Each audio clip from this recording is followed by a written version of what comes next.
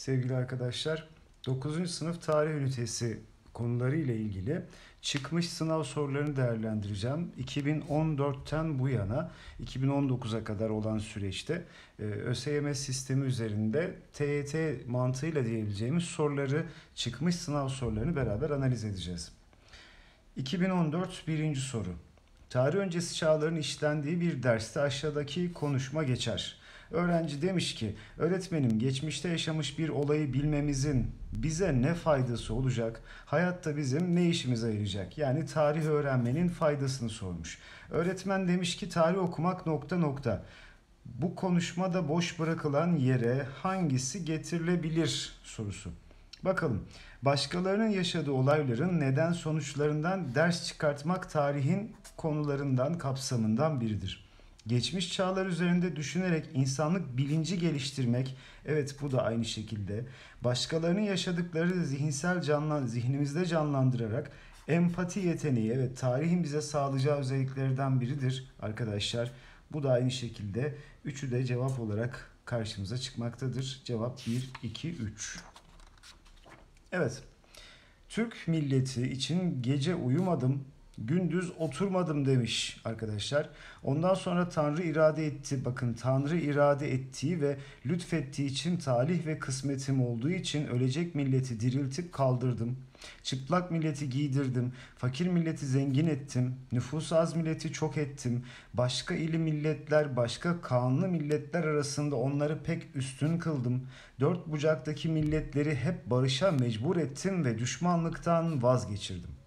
Orhun yazıtlarında yer alan ve Halkan'ın yaptığı işleri anlattığı bu metne göre e, Hakan'la ilgili olarak hangisine ulaşılamaz demiş arkadaşlar. Bakalım hesap verme zorunluluğu yoktur diyor. Aslında soru köküne göre yani ne yaptın sorusunun cevabını e, bize anlatıyor. Hani sen ne işe yaradın, ne yaptın gibi bir noktadan aslında e, cevabı vermiş gibi bir cümle var burada, açıklama var burada. Şu bir dursun kararlarıyla halkın geleceğini tayin etmiş. Evet halkın işte açken toklaştığını, fakirken zenginleştiğini, başka yerleri ele geçirerek büyüdüğünü, hani halka dair kararları verdiğini göstermiş ki kanun görevlerinden biri de budur. Pek çok yetki kendinde toplamış liderlik noktasında vurgu yapılabilir. Tanrı ona kut vermiş. Bakalım Tanrı irade ettiği için evet vurgu var zaten önemli görevlerinden biri halkın refahını sağlamak işte açları doyurdum gibi bir ifadeden halkın refahını sağlamak bunlara ulaştık ama hesap verme zorunluluğu yoktur noktası burada tam manasıyla karşılık bulmadı cevabımız Adana arkadaşlar. Dört halife devrinde Hazreti Ebu Bekir ardından Hazreti Ömer halife seçilmiştir. Ki hatırlayın dört halife seçimle gelmişti. Buna ne dönemi diyorduk arkadaşlar? Cumhuriyet dönemi diyorduk. Bu dönemde Mısır, Suriye, Irak, İran ve Azerbaycan fethedilmiş. Yalnız bu bilgiye dayanarak ulaşılabilir demiş. İslam devletinde saltanat sistemine geçildiği. Saltanat ne demekti? Babadan arkadaşlar oğula demekti. Yönetimin babadan oğula geçmesi demekti. Paragrafta bu şekilde bir değişimden geçişten bahsetmiyor. Bunu eledik. İslam ordularının güçlü olduğu. Evet birçok yeri siz ele geçirdiyseniz ordularınız güçlüdür. İslamiyet'in yayıldığı ki hakeza buraları ele geçirdim, fethettim diyor. Tabii ki İslamiyet'i buralara taşıyacaktır. Cevabımız 2 ve 3 olacaktır sevgili arkadaşlar. Selçuklular 1071 Malazgirt e, Savaşı'ndan 1176 Milekefelon Savaşı'na kadar geçen sürede hem Bizans ve Haçlı saldırılarını durdurmak hem de Türk beylikleriyle özellikle de Danişmentler ve Suriye'deki Eyyubilerle mücadele etmek zorunda kalmışlardır. Yani burada hem Bizans'ta yapılan savaş mücadele hem de beylik dediğimiz iç mücadele noktasından bahsetmiş genel anlamda bir mücadele vurgusunu vermiş arkadaşlar. Bu durum bu durumun aşıdakilerden hangisine neden olduğu savunulabilir. Yani bu durum neye neden olacak? Bunun bizden sonucunu istiyor. Anadolu'nun hızla Türkleşmesi. Arkadaşlar soru köküne göre bir kargaşa döneminden bahsediyor. Yani iç mücadelenin ya da dış mücadelenin olduğu bir dönemden bahsediyor. Bu dönemde Anadolu'nun Türkleşmesi vurgusunu yapamayız. Yani olumsuz bir noktadan olumlu bir vurguya çekemeyiz. Bizans ve Haçlara karşı Anadolu'da Türk siyasi birliğinin sağlanmasına. Bakın bu da aynı şekilde olumsuz bir paragraftan olumlu bir vurguya dönüş olmayacaktır. Sağlanması noktası hatta bunu zorlaştıracaktır arkadaşlar. Bakalım Anadolu Selçuklularının sosyal ve ekonomik gelişiminin yavaşlamasına. Evet olumsuz bir paragraf, olumsuz bir açılım bu olabilir. Selçuklularda merkezi yönetim anlayışının değişmesine. Paragrafta merkezi yönetim anlayışı yani mesela monarşi anlayışı var. Tek merkezden yönetiyorsunuz. Bunu federasyona çevirdiniz. Yani işte bölgesel eyalet sistemine geçtiniz. Hani böyle bir geçişten bahsetmiyor. Yönetim anlayışını değiştirmek demesi için böyle bir geçiş paragrafının olması gerekiyor. O yüzden bu da olmayacaktır. Hanedan üyeleri arasındaki taht kavgaların azalması. Paragrafta zaten taht kavgalarından da bahsetmiyor. O yüzden cevabımız Ceyhan olacaktır sevgili arkadaşlar. Bakın şu ikisi e, kafa karıştırıcı öncüllerdir ama şuna dikkat ediyoruz. Olumsuz bir paragrafın sonuç noktasında olumsuz bir nokta olmalı. Yani olumsuzdan olumluya geçiş olmamalı. Buna dikkat ediyoruz arkadaşlar. Öğrencilerin bu soruya doğru cevap olarak aşağıdakilerden hangisi vermesi beklenir demiş. Tarih öğretmeni sınıfa ferman, tarihi para, Çanakkale'de şehit düşen bir askerin hatıratı, İstiklal Madalyası ve Halil Acık'ın Devlet-i Aliye isimli eserini getirerek öğrencilere bu materyallerden hangisinin birinci el kaynaklar içerisinde yer almayacağını sormuş arkadaşlar. Şimdi biz bunu hatırlayalım. Birinci el kaynak var, bir de ikinci el kaynaklarımız var. Ne demekti birinci el kaynak? O gün yani yaşanılan gün ortaya konulmuş olması gerekiyor. İkinci el kaynak birinci el kaynaktan elde edilen verilerle sonradan dikkat edin bakın sonradan ortaya konulan veriler ya da işte kitaplar e, olması gerekiyor. Bu noktada Halil Nalcık'ın yazdığı eser Osmanlı'da yaşayan bir adam değil Halil Nalcık. Sonradan Cumhuriyet tarihinde yaşayan bir adam Osmanlı'ya dair araştırmaları sonucunda bu kitabı yazıyor. O yüzden Halil İnalcık'ın kitabı birinci el kaynak olamayacaktır. Paralar bakın fermanlar, İstiklal Madalya, şehit hatıratları yani kendi o dönemi yansıtan e, eserler olduğu için birinci el kaynaklardır. Ha bu arada 2015'in birinci sorusuydu bu arkadaşlar. Gördüğünüz üzere. Şimdi yine 2015'te devam ediyoruz. Türklerde hayvancılığın gelişmesinde aşağıdakilerden hangisinin etkili olduğu savunulamaz demiş. E, Türklerde hayvancılığın gelişmesinde hangisinin etkili olduğu savunulamaz. Yaşam tarzı etkili olmuştur. Coğrafi şartlar da etkili olmuştur. Din anlayışları bir dursun. Ulaşım ve taşımacılık için hayvanları kullanma isteği etkili olmuştur. Ticaret yapmak, mal getir götür konusunda etkili olmuştur. Ama din anlayışlarından dolayı hayvancılığa yöneldiler diyemiyoruz arkadaşlar. 2015'in ikinci sorusu. Evet 2015'in yine üçüncü soru. Yukarıdaki gelişmelerden hangileri Hazreti Ömer döneminde gerçekleşmemiştir arkadaşlar? Bakın bilgi soruları da araya serpiştirilmiş durumda. Valiliklerin kurulması Hazreti Ömer döneminde gerçekleşmiştir. Kur'an-ı Kerim'in çoğaltılması arkadaşlar Hazreti Osman döneminde gerçekleştirilmiştir. Beytül Mal sisteminin geliştirmesi devlet hazinesi demekti arkadaşlar devlet hazinesi olarak karşımıza çıkıyor. Bu da Hazreti Ömer dönemindedir. E, ha Memiş'tir dediği için cevabımız Bolu olacak. 2015'in dördüncü sorusu.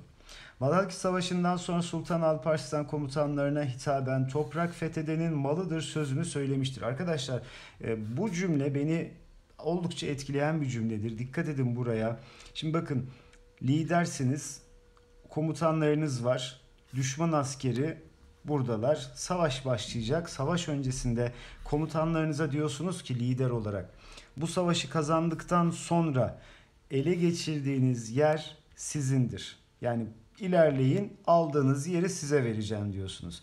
Burada bir komutan bu cümleyi duyduktan sonra ne hisseder? Ya bana ne mi der yoksa e, bu cümleden gaza gelerek daha çok yer almak için hırsla gerçekten çetince mi savaşır? İşte buna dikkat edelim. Arkadaşlar şu cümle dikkat edin gaza geçirecektir komutanlarını ve savaşın kazanılmasında da ve sonraki süreçte de etkili olacaktır.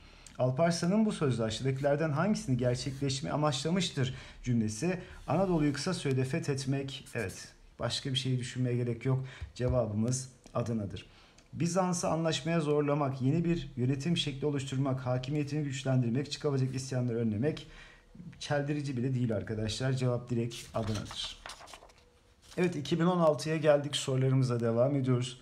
Milattan önce Mısır'la ilgili bir cümle vermiş, paragraf vermiş. Şimdi okuyalım bakalım. Milattan önce 3000 yılında Mısır'da tahta geçen kral Menes, Nom adı verilen şehir devletlerini ortadan kaldırarak, dikkat edin bakın, şehir devletleri varsa yani her şehir bir devletse o zaman siyasi birlik ya da merkezi otorite var mı yok mu? Arkadaşlar yok. Yani şehir devleti varsa merkezi otorite, siyasi birlik yok arkadaşlar.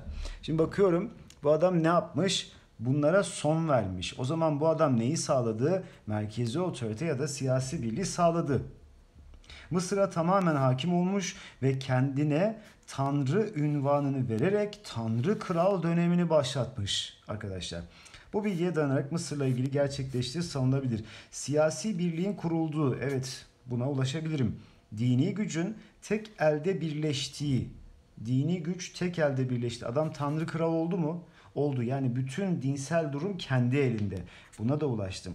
Toplumun sınıflara ayrıldı. Paragrafta toplumla ilgili bir cümleden bahsetmiyor.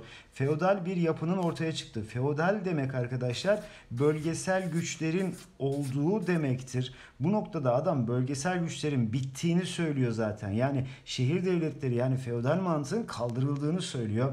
O yüzden bu ikisini eliyorum. Cevabım 1, 2 ve Adana oluyor. 2016 birinci soruydu. Şimdi yine 2016 ikinci soruyla devam ediyorum sevgili arkadaşlar. Bakın Orhun abideleriyle ilgili bir başka soru var burada. Ee, Orhun abidelerinden ikinci soru 2014'ten bu yana dikkat edin. Buna göre Kaan'la ilgili olarak hangisine ulaşılamaz? Orhun abidelerinde insanoğulları üzerinde ecdadım bu min Kaan istemi yabgu ile tahta oturmuş. Yani ikili yönetim vurgusu var. Tahta oturmuş. Türk milletinin ülkesini, töresini idare ve tanzim edivermiş. Yani ülkeyi ve töreyi kullanmış asker sevk edip dört taraftaki kavmi her e, hep itaat altına almış. Yani savaşmış, hep muti kılmış yani güçlendirmiş ifadeleri yer almış arkadaşlar. Buna göre Kaan'la ilgili olarak hangisine ulaşılamaz? Devleti töre kurallarıyla idare ettiği. Bakıyorum töre kuralları ilişkisi şurada var.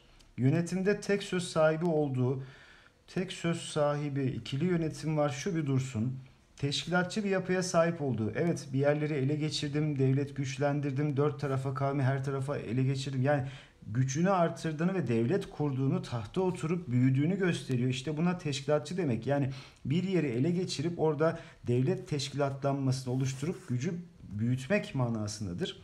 Egemenliği geniş alanına yaydığı Ebu da var. Askeri gücünü etkin olarak kullandığı Ebu da var. Arkadaşlar töre de vardı. Yani cevabımız Bolu oluyor. Çünkü bakın Bumin Kağan'la İstemi Yabgu ikili yönetim var. Arkadaşlar Türklerde federasyon vardır. Bakın federasyon. Federasyon doğuyu bir kardeş, batıyı bir kardeş yönetir. Bu mesela iç işlerde serbesttir. Kendi yönetim anlayışı vardır. Bu noktadan baktığımda tek söz sahibi değilsin. Buranın kendine göre bir özerk statüsü söz konusudur. Bu yüzden arkadaşlar cevabımız Bolu'dur. Evet 2016 ikinci soruyu bitirdik. Yine 2016 üçüncü soruya devam ediyoruz sevgili arkadaşlar. Bu uygulamaların 4 halife dönemindeki durumlardan hangileri çeliştiği söylenebilir. Emeviler döneminde Arap milliyetçiliği neydi hatırlayalım. Mevali politikasıydı. Politikası izlenmiş ve ayrıca babadan oğula geçen bir saltanat sistemi uygulanmıştır. Bu uygulamaların 4 halife dönemindeki bütün Müslümanlar eşittirle çelişir. Çünkü Arap milliyetçiliği mevali demek sadece Arapları üstün tutmak. Arap Müslümansan birinci sınıfsın. Atıyorum Türk Müslümansan ikinci sınıfsın demeye getiriyor. Ama e, 4 halife dönemindeki bütün Müslümanlar eşittir anlayışıyla çelişmiş oluyor. Vilayetleri merkezden atanan valilerle yönetmek. Burada bir çelişen bir durumdan bahsedemeyiz. Halifelerin seçim yolla belirlenmesi evet 4 halife döneminde seçim vardı. Cumhuriyet dönemi deniyordu bu sebeple ama burada babadan oğula saltanat sisteminin olduğunu görüyoruz arkadaşlar. O yüzden cevabımız 1-3 olacaktır Denizli. 2016 yılını hallettik. 2017'ye geldik. Tarihimiz yaklaşıyoruz gittikçe. Ela öğretmen tarih dersinde öğrencilerine anıt ve taşlardaki yazıtların okunmasında Anıt ve taşlardaki yazıtlar bize hemen bir noktadan çağrışım yapması lazım. Bakın taştaki yazıtlar, taş üstündeki yazıtlar. Okunmasında tarih biliminin yararlandığı alanı sormuştur demiş. Şimdi üzerinde yazı var. Dikkat edin yazı ile ilgili bir şey olacak. Bir de taş üzerine yazı ile ilgili bir şey olacak. Yani ya paleografya olacak ya da epigrafya olacak. Eğer taş üzerine vurgusu varsa epigrafya, yazı vurgusu varsa paleografya. Şimdi bakalım. Ela öğretmen tarih dersinin öğrencilerine anıt ve taşlardaki yazıtların okunması, anıt ve taşlardaki tarih biliminin yararlarını alanı sormuş. Bakalım cevaplara. Etnografya, heraldik, epigrafya, antropoloji, numizmatik. Arkadaşlar kültür bilimi, mühür arma bilimi, ırk bilimi, para bilimi, kitabe bilimi. Şimdi Orhun kitabeleri gibi kitabe bilimi. Paragrafa göre paleografya seçeneğini cevaplarda vermemiş. Epigrafya üzerinde durmuş. O yüzden direkt cevabımız Ceyhan arkadaşlar. 2017 ikinci soru sevgili arkadaşlar. Devam edelim sorularımıza bu şekilde. Şimdi bakın Çin kaynaklarına göre Şöyle ayarlayalım. Çin kaynaklarına göre Hunlarda Türk çocukları küçük yaştan itibaren koyunların üzerine binerek binicilik talimi yaparlar. Biraz büyüyünce eline ok yay alarak kuş ve fareleri avlarlar. Daha sonra da tilki ve tavşanları av, avlarlar. Bu şekilde çok iyi bir atlı ve okçu olarak yetişirler. Yani çocuktan yetiştiğini söylemiş. Buna göre Hunlarla ilgili olarak ulaşılabilir demiş. Temel geçim kaynaklarının avcılık olduğu Şimdi bakıyorum ben bu paragrafta çocukların yetişimi vurgusu var. Temel geçim kaynağın avcılık vurgusu tam olarak göremedim dursun. Küçük yaşlardan itibaren savaş aletleri kullandı. Evet bunu vermiş. Yaşam biçimlerinin askeri özellikle geliştirdiği. Arkadaşlar Türklerin yaşam biçiminde hayvancılık var. Hayvancılık yaşam biçiminde koyun, keçi vesaire ya da işte inek, dana vesaire bunlarla yaşıyor. Bunları kullanıyor. Bunları besliyor. Arkadaşlar bu noktada bakın şurada çocuk küçük itibaren koyunların üzerinde binerek yani o civarda koyunlarla yaşıyorlar. Onların üzerine binerek çocuk talim yapmış oluyor. Yani yaşam biçiminin onun askeri özelliklerinin gelişiminde etkili olduğunu zaten şu cümleden vermiş. O yüzden bunu da alıyorum. 2-3'e net olarak ulaşıyorum sevgili arkadaşlar. 2017 3. soru. Abbasiler Emevilerin aksine Türklere ve Arap olmayan Müslümanlara karşı iyi davrandı. Burada mevali politikasını daha önce sormuştu. Şimdi onun tersinden sormuş. Abbasileri sormuş. Bu sayede Abbasiler döneminde Türklerin İslamiyet'e geçişi hızlandı. Özellikle Mutasım döneminde Türkleri önemli devlet makamlarına ve ordu komutanlıklarına getirdiler. Ayrıca Bizans sınırına yakın, dikkat edin Bizans sınıra yakın Avasım dediler arkadaşlar bunlara. Avasım ya da Samara Samerra de alınabilir dediler. Kurdukları şehirlere Türkleri yerleştirerek ülkelerini Bizans saldırılarına karşı güvence altına aldılar. Bu tür şehirlere de arkadaşlar tampon bölge diyoruz. Bakın tampon bölge diyoruz. İki güç arasındaki e, kontrol bölgesi gibi, geçişi zorlaştıran bölge gibi düşünebiliriz. Buna göre ulaşılamaz demiş. Bizans topraklarının büyük kısmı fethettiklerini, paragrafta Bizans topraklarının alındığını söylemiyor. Bizans sınırına asker konduğunu söylüyor. Bu cümle yanlış. Türklerin askeri yeteneklerinden yararlanmışlar. İdari hizmetlerde farklı unsurlardan yani Türkler gibi farklı unsurlardan faydalanmışlar. Arap milliyetçiliği yapmamışlar doğru. Bizans ile sınırlarına anlaşmazlıklar yaşadıkları için Avasım Samara şehirlerini kurdurmuşlar. Buna da ulaşıyorum. O yüzden cevabımız Adana. Arkadaşlar bakın bir şeye de dikkatinizi çekmek istiyorum. 2017 3 soru, 2016 3 soru, 2015 4 soruydu, 2014'te 4 soruydu. Yani 9. sınıf tarih konusu 2014-15'te 4 soru, 2016-17'de 3 soru.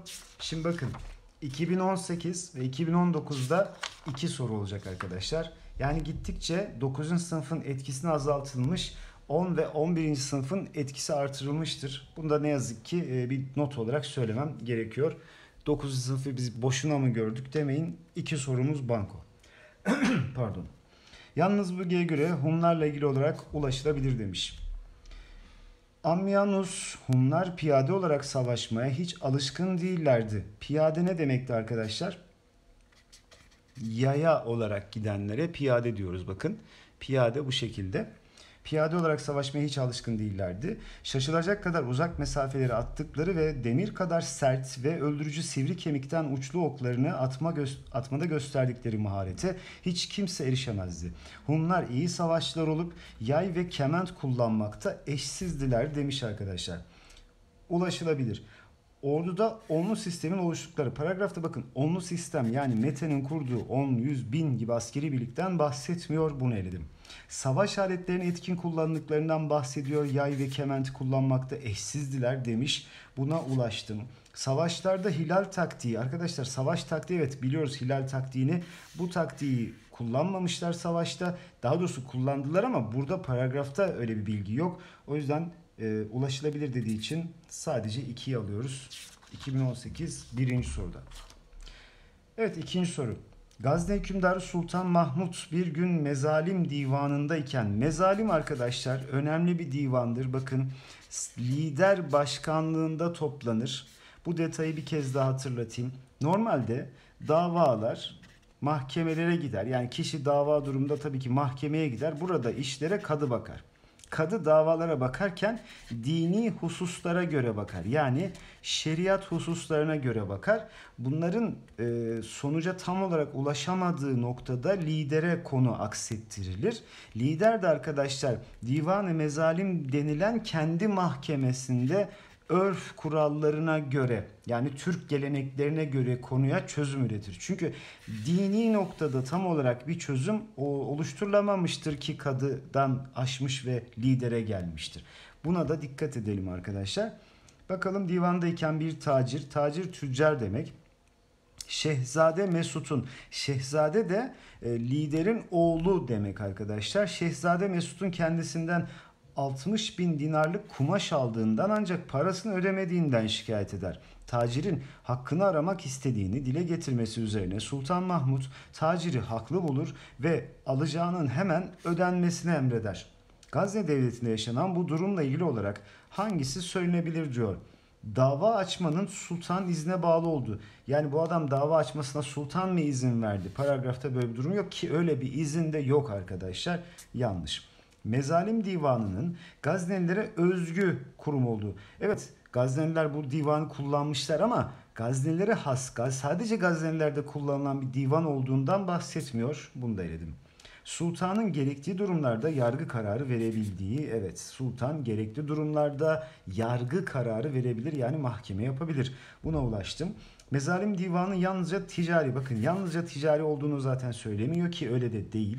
Ticari konuların İslam hukukunun dışında bulunduğu öyle bir durum da yok. Yani ticari konular da İslam hukukunda görüşülüyor ama anlaşılamayan bir durum ortaya çıkarsa ya da tam olarak taraflar birilerine ikna olmazsa, durum sonucuna ikna olmazsa yine sonucu e, temyiz etme mantığıyla yani bir üst mahkemeye götürme mantığıyla lidere taşıyabiliyorlar. Buradaki kastettiği bu şekilde arkadaşlar. O yüzden bu da olmuyor. Cevabımız Ceyhan. 2019'un birinci sorusuyla devam ediyorum. Asya Hun Devleti'nin dağılmasının ardından Hunlar batıya doğru yayılmaya başlamış ve Karadeniz'in kuzeyinde bulunan Germen kavimlerini batıya doğru itmişlerdir. Arkadaşlar hatırlayalım Çin'le yaşadıkları mücadele sonrasında Türkler zayıflamış ve parçalanmış ve bir kısmı Kuzey Hunları batıya doğru göçmek zorunda kalmışlardı. Burada arkadaşlar barbar kavimler dediğimiz kavimleri batıya doğru onları iterek batıya doğru yani Avrupa'ya doğru sürüklemek durumda olmuşlardı. Orada da Roma'ya saldırmışlar. Roma ikiye ayrılmış. Batı Roma, Doğu Roma bu şekilde gerçekleşen büyük bir süreçti. Biz bu olaya kavimler göçü diyorduk arkadaşlar hatırlayalım. Adı verilen bu süreçte Hunlar Avrupa siyasetine etkin hale gelirken ikiye ayrılan Roma İmparatorluğu önemli sorunlara karşı karşıya kalmış. Buna göre hangisi kavimler göçünün sonuç arasında olduğu gösterilemez. Türk kültürü Avrupa'ya yayılmış. Tabii ki oraya göçtüysen yayılacak. Avrupa'nın etnik yapısı değişmiş. Etnik arkadaşlar millet demek. Bakın farklı milletler Avrupa'ya geliyor. Tabii ki millet yapısı değişmiş. Roma İmparatorluğu güç kaybetmeye başlamış. Bu vurgu da var arkadaşlar bakın Roma ikiye ayrılmış. Vermiş burada bunu da. O da var. Bilim ve teknikte önemli gelişmelerin yaşandığı bilim ve teknikte bahseden bir cümle göremedim. Avrupa'da siyasi dengeler değişiyor. Roma yıkılıyor, Türkler geliyor, barbarlar geliyor. Evet bu da var. Cevabımız deniz arkadaşlar. Evet son soru 2019. Gazneli Mahmut bir başka Gazneli Mahmut sorusu. Abbas halifeli Büveyhoğullarının baskısından kurtarmış ve bu hizmetine karşılık olarak Abbas halifesinden Sultan ünvanı almış. Bakın bunu ilk defa kullanan Gazneli Mahmut'tur. Sultan ünvanı kullanan ilk Türk liderdir. Ondan öncesinde Türk liderleri Han, Hakan, Kaan gibi ünvanlar kullanırdı hatırlayın arkadaşlar. Bu bilgiye bu bilgiyle aşağıdakilerden hangisine ulaşılabilir? Gazneli Mahmut'un İslam dünyasının önemli bir siyasi gücü olduğuna olabilir. Abbas halifesinin siyasi yetkilerini Gazneli Mahmut'a bıraktığına yani burada bir siyasi yetkileri bıraktığı vurgusunu göremiyorum. Türkler arasında İslamiyet'in hızla yayıldığına arkadaşlar e, Türkler zaten Müslüman olmuştu. Bu süreçte artık İslamiyet'i korur duruma gelmişti. Bunu eledim. İslam dünyasında mez- mezhep çatışmalarının son bulduğuna bakın Şii Büveyhoğulları Sünnilerle çatışıyor ama e, burada mezhep çatışmaların son bulduğu gibi bir durum söz konusu değil. Gazneli Mahmut'un İslam dünyasına siyasi birliği saldığını, paragrafta sadece halifeyi koruduğunu söylüyor. Siyasi birliği saldan bahsetmiyor. Üçünü eledim. Bakalım Gazneli Mahmut'a bıraktığınız siyasi yetkilerini arkadaşlar yani Abbas halifesi burada Gazneli Mahmut'a bir yetki bırakmamış. Yani siyasi yetkiyi bırakmamış. Sadece ona bir ünvan vermiş. O yüzden cevabımız Adana olacak. Evet arkadaşlar bu şekilde bir ders işlemiş olduk. Çıkmış sınav soruları üzerinden 9. sınıf dersini tekrar etmiş olduk. İyi dersler diliyorum.